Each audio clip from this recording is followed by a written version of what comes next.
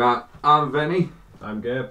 and we're back again at VTR Guitars. Uh, this time we're not demoing a guitar that we've worked on, we're demoing one of my own, uh, which is the Epiphone Zakk Wylde ZV. Um, I'm a bit sad. Uh, I give names to all my guitars, and this one's called Berserker. Uh, a little sticker on the side of the headstock. Um, it's just your typical Epiphone uh, Zakk Wylde model uh, with the bullseye. The bolt on neck. Uh, no, set neck. That it? Yeah. Yeah, right. um, I apologise for that. I should hope you will as well. Um, it's got mahogany body, uh, obviously SGV, uh, maple neck, rosewood board, mother of pearl block inlays. Well, there'll be acrylic ones with it being an Epiphone. Um, the Zakk Wylde EMG set, which is the 81 and 85. Um, the only thing I really need to do to this is change the pots Because they're for the um, carve tops. Uh, so I need to get the short pots. Uh, Grover machine heads, bone nut, um, and the Zakk Wylde silhouette on the yeah, the little Gumby Zakk, as Zakk himself puts it. Um, so we're going to run down through some tones for you. Uh, as usual, going through the Marshall MG15 FX CF. Can't speak this morning. It's too early, I'm not on my coffee yet. Uh, so we're going to run through like the clean, crunch, overdrive. Uh, might do both overdrives if we're feeling fruity enough. we were going to demo some pedals, but uh, my pedal boards decided to be a bit daft. and the power's not working Yeah. properly. Power supplies being a bit stupid, but um, I've basically got Zakk's pedalboard because not only being a big Zakk Wylde fan, um, his stuff just works for how I play, uh, which is not very well. It just makes it sound a little bit better. Same with Zakk. Nah, he's alright. He's a good egg. We all love Zakk Wylde here at VTR Guitars. But um, yeah, so Gerb's going to run down some stuff as usual. Um, start off on the clean channel. Uh, with all the channels, it's all my preset channels, uh, sounds. Um, so if you don't like the tones, tough. I do. um, so here we go. Um, this is a clean channel. Yeah, and I'm going to start off from the neck because it sounds nicer.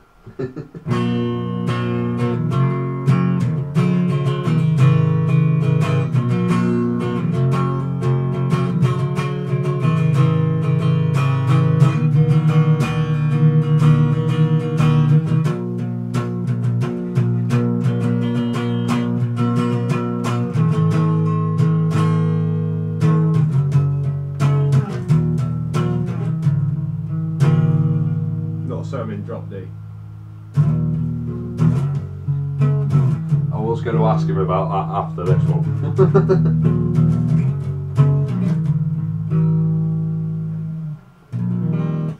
and also, Gerb saying that he's in drop D. The string gauge on it as well is 10 to 60. Um, It's a heavy fuckers. heavy, heavy, because I normally have, what do I normally have it tuned to? It says on the back. C. C or A. Um, but yeah, so uh, that's a clean sound. Um, in the 85, uh, switch down to the 81. A lot brighter. Operator.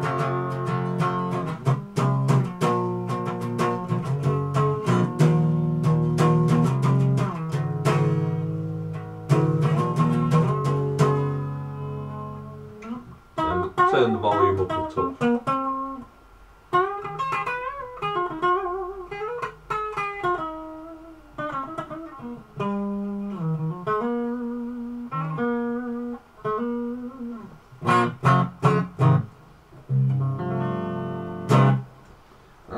Was a clean tone. Uh, in the neck and the bridge, should we try it in the middle? Yeah, why not? See if it behaves. It does. It's a lot more bassy.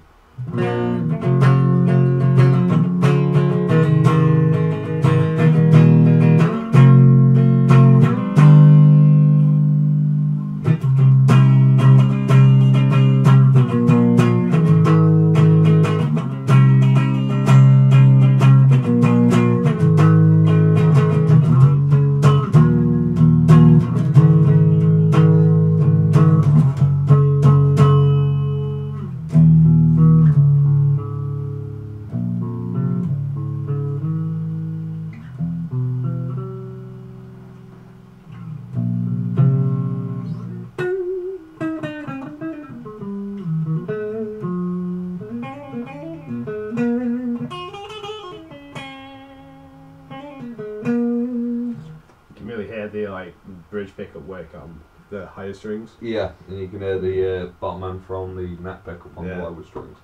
Um, the thing I like about EMGs, active pickups aren't for everybody. Uh, Um, I'm not really a big fan of active. no. I, I like both, don't I? I like passive and active. Mm. Um, I've only got two guitars with active, which is that and my Westfield uh, single cut. Just don't want to get in trouble. Yeah. Um, but yeah, um, all the controls on the guitar, by the way, are dimed. Um, so that was clean tones. Let's shift over to the crunch channel. I might have to turn the volume down somewhere down the line. Uh, which pickup are you going to start on? Start on the bridge. There we go. Right, so we're on the crunch channel now.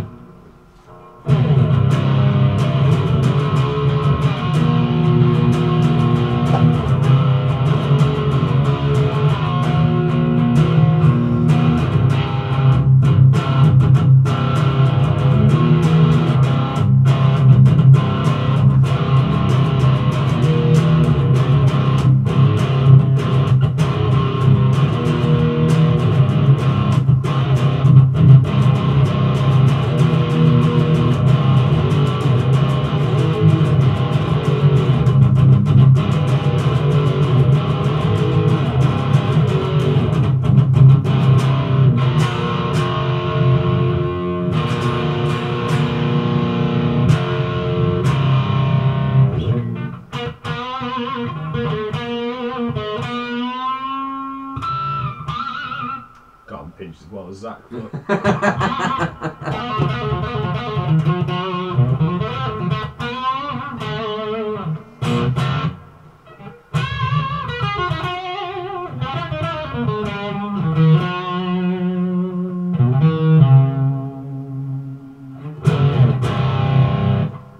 not be able to pinch as well as that, but it's all in the fingers and, the, and how you pick attack.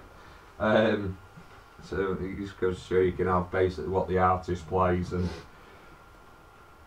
not be like the artist, which is what a lot of people. Oh, what about so and so signature, whatever. So sound like that. he can get close, mm, but you're never gonna sound like that artist, are you? no. It's all in the hands. I mean, I sound nowhere near that wild, and I've basically got a lot of stuff. He got like 80% of his gear. the lower end.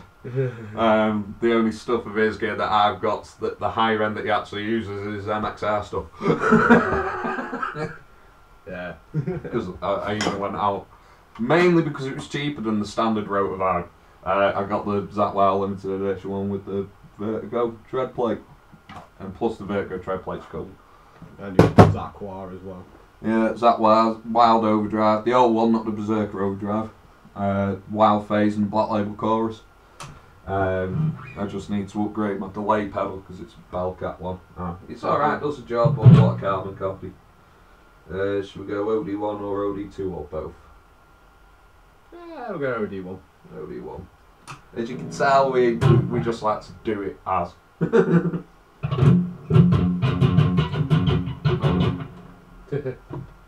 well, Right, we're in- working. We're in OD1 now.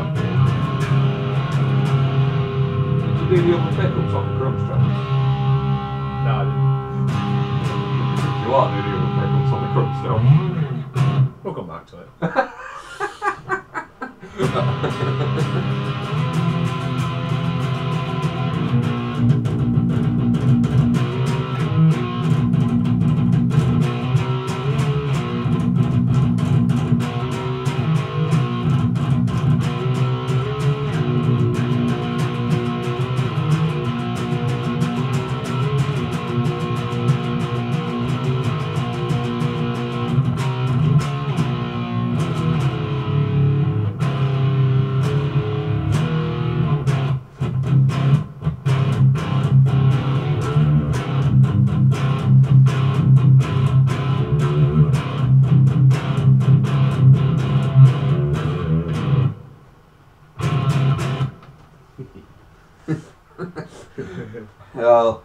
probably heard me saying to Gerb, um, we didn't do any other pickups on the Crunch channel.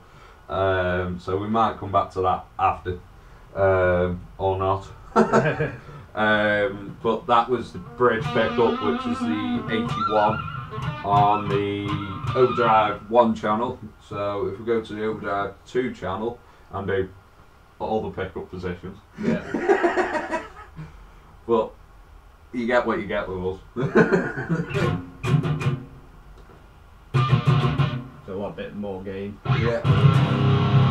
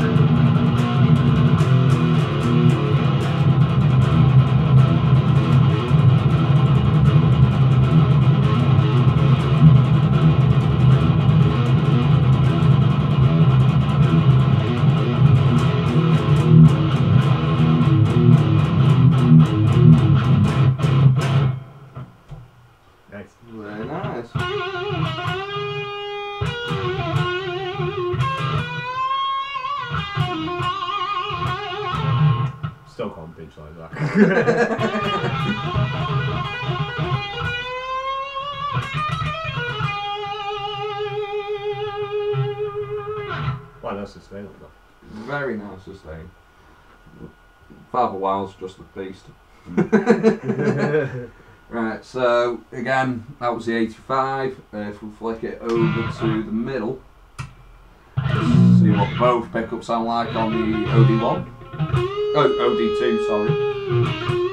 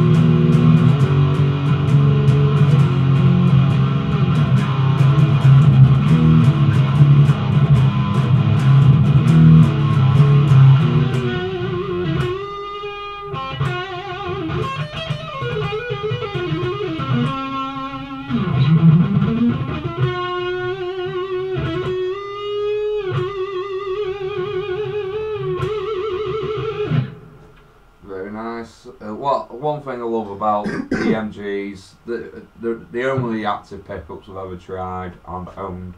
Uh, I just love the punch and the clarity you get even on the higher gain settings. I mean, you still get a lot more gain out of this channel.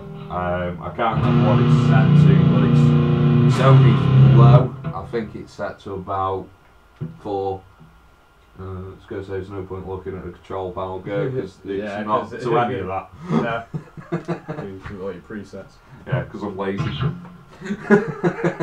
uh, but yeah, that was the 81 and 85 together. Um, really nice clarity on the high strings and the lower strings. Uh, still cut through, still pump, plenty of punch in the pickups. So we're now on the 85 on its own.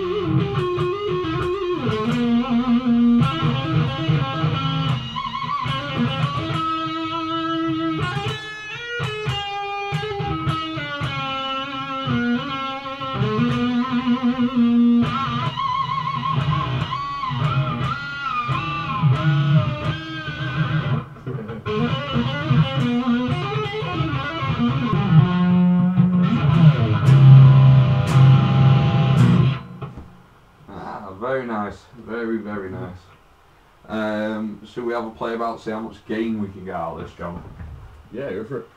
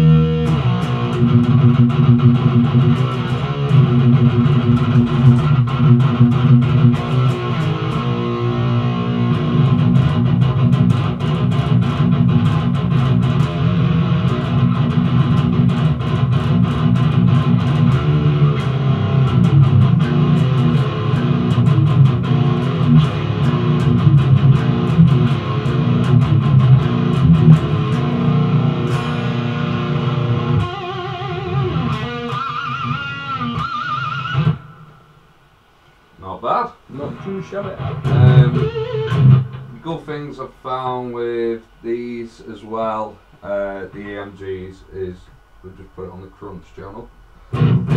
When you what you in the bridge, Yep. when you roll back the volume, it should clean up fairly nice.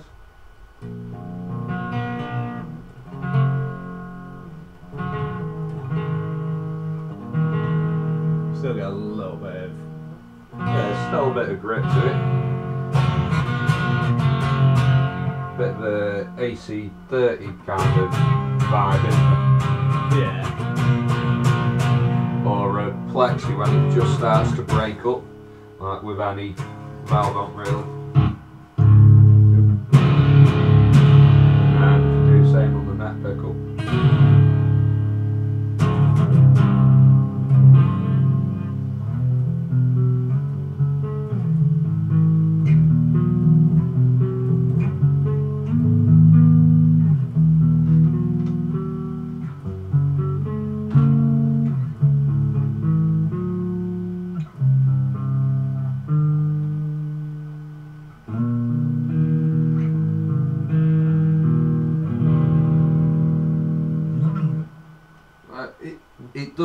Quite nicely. When I'm playing, I pretty much sit on this channel uh, and I'll push the, uh, for my main rhythm sound, if I clean up, we'll back the volume off.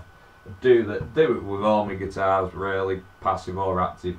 And um, Quite an old school thing to do. yeah, Because back in Tut Day, it t- there, they, they, they didn't really have any like boost pedals or anything Ah. like that. Or yeah, and they didn't have, it was rare they had multi-channel amps as Yeah. well. Um, so when I want to get a lead sound, I'll just push it with an overdrive pedal. Um, or if I want a different type of uh, rhythm sound, I'll back the volume off on the guitar and push it with the overdrive. Because the good thing about the uh, MXR overdrives, they don't tend to colour your sound either.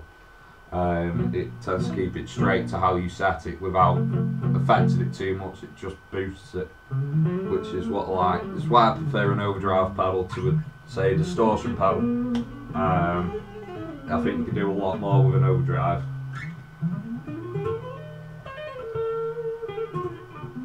But I think uh, I think that'll conclude it for the uh, Epiphones EV, um, which they don't make anymore. Um, if you want something similar, Dean split tail. Uh, if you can't get hold of one, I'm a Dean split tail, which basically is that same shape because uh, it was Dean who made it originally for Zakk. Uh, Zakk drew it on a napkin, as a lot of people do. Uh, Dimebag's drawings were just rough sketches.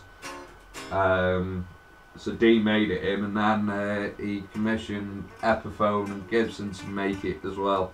And obviously now he's got his own company, Wylde Audio. Um, he's tweaked the shape a bit more, and it's it's the Warhammer and, and the graphics as well. He's uh, tweaked as well. Yeah, he's. It's I think he, he does uh, like a flame maple top one, and he does the Vertigo. yeah. Yeah, it is the Vertigo, it's- which is, is is is it the V? that. yeah, Uh, the V does it pinstripe, that's the one. Yeah. and the Odin's he does with the bullseye, and the Which- which- Barbarian, which is his take on a SG, um, has got the buzzsaw, which is that one. uh, but yeah, that concludes it for the Epiphone. Uh, another demo we've got coming up soon. Um, not sure when it'll be, but it's for another one of mine, which is, if you can see it, Blacktooth Grin, which is my Dean Razorback that's made in Indonesia. If I remember rightly, it's one of the lower price ones, but it's can't remember what the pickup is in the neck. I think it might be a DMT. I think it is a Dean pickup, but it's got Seymour Duncan Dimebucker, which absolutely love. Uh, licensed Floyd, so that one will be coming soon. Um, because we all know and love Saint Dime. Saint nine. Um, I've got a tattoo of him on my leg next to Lenny. and eventually, once Dime's finished, Dio and Randy Rhoads will be going on the leg as well. Um, so that's concluded it for that. Also, hopefully, as you've noticed, I'm rocking a VTR guitar shirt. So hopefully we'll be getting some of them made soon and they will be up for sale. Um, not sure what price they'll be yet, but they won't be too expensive. Probably looking 10, 15 pound mark. Um, whatever that equates to around the world. Um, obviously, VTR on the front. And the logo on the back. Uh, need to get another one ordered for Gerb. But I've got all fancy wearing a shirt. Yeah. No, um, we're going to invest in some work shirts for me and Gerb as well, so we can look all posh and professional. and if you've got a cut, you get some patches done. Yeah, um, going to have a look at getting patches done um, at some point. I want one of that one for on the back of my cup because it's got to be done. But anyway, um, yeah. So again, thanks to Gerb as usual for providing riffage. Um, I've been Vinny, I've been yeah, I've tried. and as usual, all the information will be down there where you all know and love and expect it to be. Yeah. Um, so we're going to sign off on this one, and we'll catch you later. In a bit.